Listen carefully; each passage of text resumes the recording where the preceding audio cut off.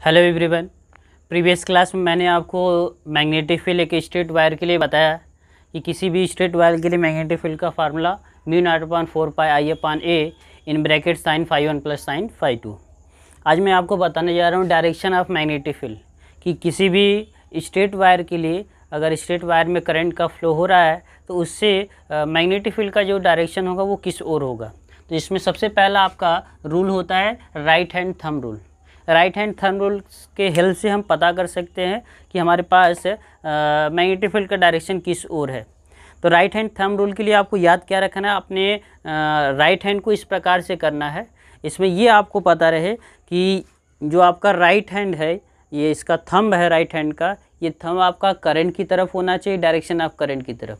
अगर इस प्रकार से आप डायरेक्शन ऑफ़ करंट मान के चलते हैं ये थंब तो इस प्रकार से जो आपका फिंगर रोटेट करता है ये फिंगर आपका जिधर कर्ल करता है, घूमता है, उसी फिंगर के डायरेक्शन की ओर आपका क्या होता है? डायरेक्शन ऑफ़ मैग्नेटिक फ़ील्ड जैसे आप समझ सकते हैं इस प्रकार से, मान लीजिए आपके पास कोई आपका कंडक्टर है स्ट्रेट वायर है, जिसमें करंट इस प्रकार से अपोर डायरेक्शन में आपका फ्लो हो रहा है। और आपसे पूछा जाए कि इस पॉइंट पर, मान लीजिए पॉइंट पी है, इस पॉइंट पर डायरेक्शन ऑफ़ मैग्नेटिक फ़ील्ड किस ओर होगा? तो आपको करना क्या है? अपने राइट हैंड को इस प्रकार से करना है और करंट को थम के डायरेक्शन में रखना है। जैसे इसमें करंट आपका अपोर डायरेक्शन में है तो थंब आपका अपोर डायरेक्शन में होगा। और यहाँ देखिए, इस पॉइंट पर जब हम देखेंगे तो हमारा जो फिंगर्स है, वो किधर जा रहा है? इनवर्ड डायरेक्शन में। तो बोला जाएगा, यहाँ पे मैग्नेटिक फ़ील्ड का डायरेक्शन अंदर की ओर है।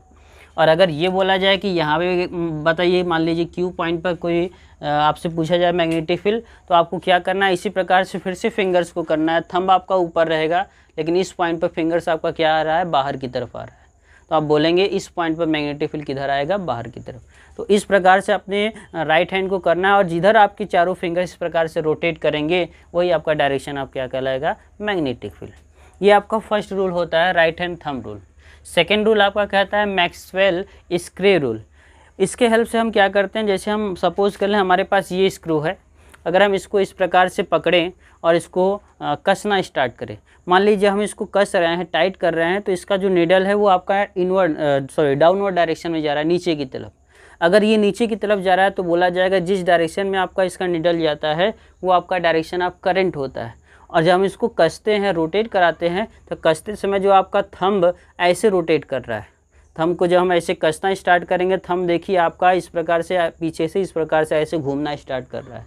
तो आपका जो थंब स्क्रू को कसते समय जिस डायरेक्शन में रोटेट करता है, उस डायरेक्शन को बोला जाता है डायरेक्शन ऑफ़ मैग्नेटिक फ़ील्ड अगर स्क्रू आपका स्क्रू का जो डायरेक्शन होगा, वो आपका करंट का डायरेक्शन है तो आपका थंब का जो रोटेशन होगा, उस रोटेशन का डायरेक्शन क्या कहलाएगा? मैग्नेटिक फ़ील्ड का डायरेक्शन तो यहाँ पे भी आप निकाल सकते हैं, जैसे अगर करंट आपका ऐसा है तो इस प्रकार से हम रोटेट करना स्टार्ट करेंगे, ऐसे कसना स्टार्ट करेंगे तो हमारा थंब इस प्रकार से रोटेट करना स्टार्ट करेगा. इस प्रकार से रोटेट करने स्टार्ट करने का मतलब यहाँ से अंदर जाएगा, और इधर से आपका क्या आएगा? बाहर की तरफ़. तो बोल सकते हैं इस पॉइंट पर इनवर्ड डायरेक्शन में, इस पॉइंट पर क्या होगा? आउटवर्ड डायरेक्शन में मैग्नेटिक फ़ील्ड का डायरेक्शन होगा। तो ये डायरेक्शन आपको पता होना चाहिए। नेक्स्ट हम स्टार्ट करते हैं कि अगर हमारे पास कोई सर्कुलर वायर है, एक सर्कुलर रूप है लूप है तो उसमें अगर करंट का फ्लो हो रहा है, तब आपका मैग्नेटिक फ़ील्ड क्या होगा? स्टार्ट करते हैं उसको। नेक्स्ट आपका टॉपिक है कि magnetic field at the centre of a circular current loop कोई आपके पास सर्कुलर करंट लूप है और उसके सेंटर पर आपको पता करना है कि मैग्नेटिक फ़ील्ड का मैग्नीट्यूड और डायरेक्शन किस ओर होना चाहिए। तो यहाँ पे मैंने एक सर्कुलर लूप लिया है, ध्यान से देखें, इस प्रकार से एक सर्कुलर लूप लिया गया है वायर का। और इसमें करंट का फ्लो मान लीजिए, यहाँ से इस वायर से स्टार्ट हो रहा है, ऐसे घूमते हुए करंट ऐसे आपका क्लॉक वाइज डायरेक्शन में इस प्रकार से रोटेट कर रहा है, इस प्रकार से फ्लो कर रहा है। अब हमें ये, अब हमें ये पता करना है कि इस पॉइंट पर इसके सेंटर पर मैग्नेटिक फ़ील्ड का डायरेक्शन किस ओर होगा और इसका मैग्नीट्यूड क्या होगा। तो सबसे पहले हम डायरेक्शन अगर ध्यान से देखें, अगर हम करंट इसको देखें तो इसके लिए करंट आपका इस पॉइंट पर करंट आपका इनवर्ड है। तो अगर हम मैग्नेटिक फ़ील्ड का डायरेक्शन देखें तो राइट हैंड थम रूल का यूज़ करेंगे। यहाँ पे देखिए सेंटर पर मैग्नेटिक फ़ील्ड क्या हो रहा है? इनवर्ड डायरेक्शन में जा रहा है। और अगर हम यहाँ पे इस वाले के लिए देखें, इस वाले के लिए देखिए करंट आपका अपोर डायरेक्शन में और करंट तब भी आपका क्या जा रहा है? इनवर्ड डायरेक्शन में। तो आप देखोगे हर एक पॉइंट के लिए, हर एक करंट के पॉइंट के लिए आपका मैग्नेटिक फ़ील्ड का डायरेक्शन क्या होगा? इनवर्ड ही होगा। तो हम बोलेंगे यहाँ पे पूरे सर्कुलर लूप के लिए मैग्नेटिक फ़ील्ड क्या होगा? इनवर्ड होगा। इसलिए हम यहाँ पे लिख देते हैं क्रॉस क्रॉस का मतलब ही होता है direction of magnetic field inward direction में। क्रॉस का मतलब क्या होता है? इनवर्ड और डॉट अगर लगा रहेगा तो आउटवर्ड तो हम मान ले चलते हैं कि यहाँ पे आपका जो भी मैग्नेटिक फ़ील्ड हमें निकालना है, वो हमेशा क्या होगा? इनवर्ड डायरेक्शन तो मैग्नेटिक फ़ील्ड का फार्मूला प्रूव करने के लिए आपको बायोसोट का हेल्प लेना है। और बायोसोट ने हमें बताया था कि अगर आपको मैग्नेटिक फ़ील्ड आपको फाइंड करना है कि तो आपको एक स्मॉल करंट एलिमेंट लेना होगा।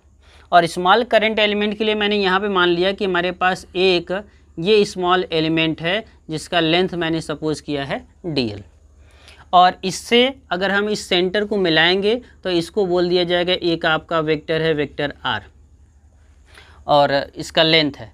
और थोड़ा ध्यान से देखेंगे तो आप ये कह सकते हो कि रेडियस और एरिया वेक्टर जो आपका इस करंट एलिमेंट है, इनके बीच का एंगल आपका कितना है 90 डिग्री रेडियस और करंट एलिमेंट के बीच का एंगल क्या है? 90 डिग्री तो सबसे पहले हम बायोसोट का यूज़ करते हैं। बायोसोट का फार्मूला क्या होता है? D B is equal to mu naught upon four pi I D L sine theta upon में क्या होता है? आर स्क्वायर यही जानते हैं। लेकिन हमें दिख रहा है कि यहाँ पे एंगल कितना है? 90 डिग्री तो हम थीटा के प्लेस पे क्या रख देंगे? 90 डिग्री तो हमें मिल जाएगा D V is equal to mu naught upon four pi I into D L sine ninety की वैल्यू वन होती है, उसको लिखना नहीं है। अपान में क्या है आपका? आर स्क्वायर ये मैग्नेटिक फ़ील्ड की वैल्यू आ गई। लेकिन ये स्मॉल एलिमेंट के लिए है। अगर टोटल एलिमेंट के लिए निकालेंगे तो हमें क्या करना पड़ेगा? इंटीग्रेशन तो हम बोलेंगे total magnetic field at the centre ये आपका क्या होना चाहिए? B is equal to integration क्या डी बी चूँकि ये आपका टोटल आपका सरफेस टोटल सर्कुलर लूप के लिए निकालेंगे तो स्मॉल एलिमेंट का क्या करेंगे? इंटेग्रल करेंगे। और जब इंटेग्रल करते हैं तो वैल्यू पुटअप करते हैं। डीबी की वैल्यू आपके पास है mu naught upon four pi I D L upon में क्या है? आर स्क्वायर तो यहाँ पे दिख रहा है mu naught upon four pi आपका कांस्टेंट टर्म है, बाहर आ जाएगा। और ये भी आई आपका इसमें जो आपका करंट का फ्लो हो रहा है, वो भी आपका कांस्टेंट है। अपान में आर स्क्वायर मतलब रेडियस भी हर जगह का क्या रहेगा? फिक्स तो हम कॉमन क्या ले लेते हैं? I upon R square integral के अंदर आपका बचेगा डीएल और ये डीएल क्या है? यही आपका स्मॉल एलिमेंट जो आपका करंट एलिमेंट है। अगर हम इंटीग्रल करेंगे तो ये टोटल लेंथ लिया जाएगा। टोटल जब लेंथ लेंगे तो इसके सरकमफ्रेंस के इक्वल हो जाएगा। और सरकमफ्रेंस आपको पता है सरकमफ्रेंस आपका होता है टू पाई आर। तो हम इसको सिंप्लीफाई कर रहे हैं तो दिखा देख रहा है कि pi pi cancel two two ये कैंसिल एक आर भी आपका कैंसिल हो गया। तो बच क्या रहा है? बी इज़ इक्वल टू मिला आपको mu naught upon two I upon R. और यही फार्मूला होता है कि अगर हम किसी भी सर्कुलर लूप में सेंटर पर मैग्नेटिक फ़ील्ड फाइंड करेंगे तो फार्मूला आएगा mu naught I upon two R. ये अगर बोल दिया जाए एक, एक ही टर्न है वायर के तब। अगर ये नंबर ऑफ़ टर्न आपको मान लिया जाए कि कई सारे वायर को इस प्रकार से लपेट कर बनाया गया है ये सर्कुलर लूप, मान लिया जाए for N circular loop N turns ये लिख लेते हैं। मान लेते हैं नंबर ऑफ़ टर्न्स आपका कितना है? यन है तो उस कंडीशन में ये फार्मूला चेंज हो जाता है। मान लीजिए ये कैपिटल यन है तो आपको मिल जाएगा mu naught capital N I upon two R ये आपका सर्कुलर लूप के सेंटर पर मैग्नेटिक फ़ील्ड का फार्मूला।